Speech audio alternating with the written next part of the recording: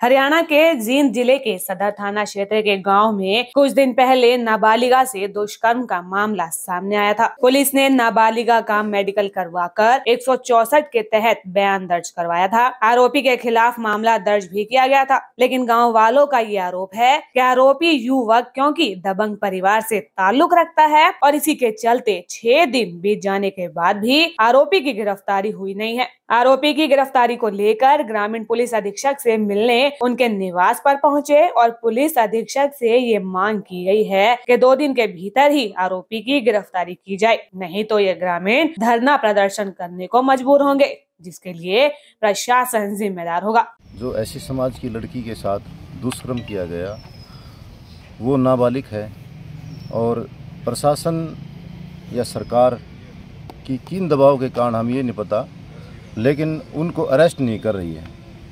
इस बारे में हमारी कई सभाओं के यहाँ पर आदमी इकट्ठे हुए हैं प्रधान इकट्ठे हुए हैं और उनमें अपने राजेंद्र पाथलान जी और अपने देशराज सरोहा एडवोकेट जी और पिंडारा गाँव से सभी समाज के आदमी सारे एससी समाज के आदमी इकट्ठे हुए हैं। अगर तो आप किन से मिले हो आज?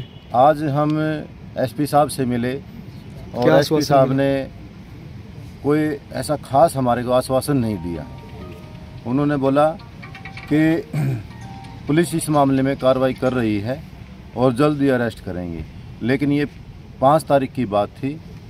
आज बारह तारीख हो चुकी है, लेकिन इस मामले में किसी तरह की कोई भी कार्रवाई नहीं की पुलिस प्रशासन के द्वारा और इस लेट होने के कारण।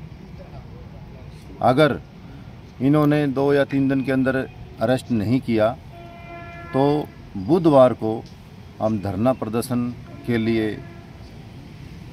मजबूर हो जाएँगे और इसके न्याय के लिए हम सरकार से, प्रशासन से गुहार लगा रहे हैं। अगर नहीं माने तो इसके लिए हम जो भी हमारी रणनीति होगी, उसको तैयार करने के लिए हम सभी इकट्ठे हुए हैं और प्रदर्शन करने के लिए हम तैयार हैं। पिंडारा गाँव की पाँच ग्यारह दो हज़ार बाईस का शाम की घटना है।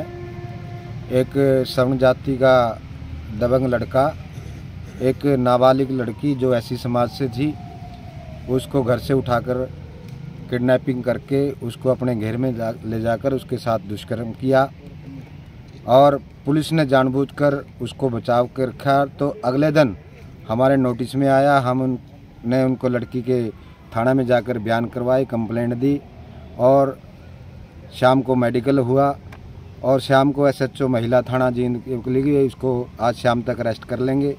जब मुकदमा दर्ज होने के बाद जघन्य अपराध में मुकदमा दर्ज है। मेडिकल हो लिया, लड़की का एक सौ चौंसठ के बयान हो गए। लेकिन आज छः दिन बीत जाने के बाद भी उस दुष्कर्मी को जो आज आज तक पुलिस ने अरेस्ट नहीं किया। हम पूरे ऐसी समाज के लोग प्रशासन से, गृह मंत्री से, मुख्यमंत्री से मांग करते हैं कि जल्द से जल्द दोषियों को गिरफ़्तार किया जाए। अगर दोषी दो दिन के अंदर गिरफ़्तार नहीं किया गया तो जींद का पूरा ऐसी समाज आंदोलन करने पर मजबूर होगा, जिसकी जिम्मेवारी जींद प्रशासन की, जींद पुलिस प्रशासन की होगी। और हम जो पूरा प्रशासन को जो आगाह करते हैं कि दो दिन के अंदर दोषी को जल्द से जल्द अरेस्ट कराया जाए, नहीं तो हम बुधवार को बहुत बड़ा प्रदर्शन करेंगे, जिसकी जिम्मेवारी प्रशासन की होगी। देखने वाली बात होगी कि इस मामले में पुलिस आगे क्या कार्रवाई करती है या फिर गाँव वालों को इस तरह से धरना देना मजबूर होना पड़ेगा। हरियाणा आज के लिए जीन से संजय तिरंगाधारी की रिपोर्ट।